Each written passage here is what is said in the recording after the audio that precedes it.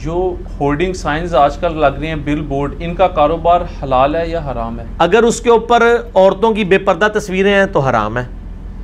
और अगर बाकी वैसे चीज़ें हैं तो बिल्कुल हलाल है। ठीक है? आप मतलब क्लियर इन मामला को लेकर चलें। इस तरीके से नाई के कारोबार का भी पूछते हैं। भाई, नाई अगर लोगों की शेव कर रहा है तो उससे तो वो कमाई उसकी हराम ही होगी। और बाकी वो जो कटिंग की कमाई ले रहा है और अब तो नाइयों को यार खुद या करनी चाहिए, वो शेव करना छोड़ दें यार, अब तो मर्दों ने फेशियल कराना शुरू कर दिया इतनी कमाई का उनका ज़रिया अल्लाह ने खोल दिया है कि वो अल्लाह ने एक दर बंद तो सौ दर खोल गए ने। मैं हैरान हूँ तो यार मर्द भी फेशियल करवाते हैं, मुझे तो ये पता ही नहीं था।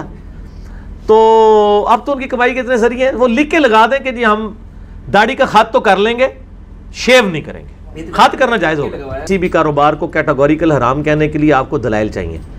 शादी की मूवी को भी हम हराम को ही नहीं समझते। मैंने पिछली दफ़ा भी कहा था कि अगर वो मूवी घर वालों तक ही रहती है एल्बम उधर तक रहता है नेट के ऊपर नहीं चढ़ता फेसबुक पर नहीं चढ़ता, एक बंदे ने यादगार के लिए एक चीज़ कर दी, जब उलमा को जल से जुलूस अपने रिकॉर्ड कराने की ज़रूरत है और एक बंदा अपना फैमिली फ़ंक्शन रिकॉर्ड कर लेता है और अपने पास ही रखता है, एक रिकॉर्ड के तौर पर मैं तो कहता हूँ कि ये शादी की मूवी जो है ना बाज़ का इबरत का बायस भी बनती है।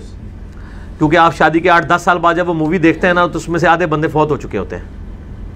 और ये बहुत बड़ी इबरत होती है। तो मैं मूवी वालों को तरकीब नहीं दिला रहा। ठीक है? तो लेकिन बाकी जो बे यही वाले मामला हैं, वो तो गलत हैं।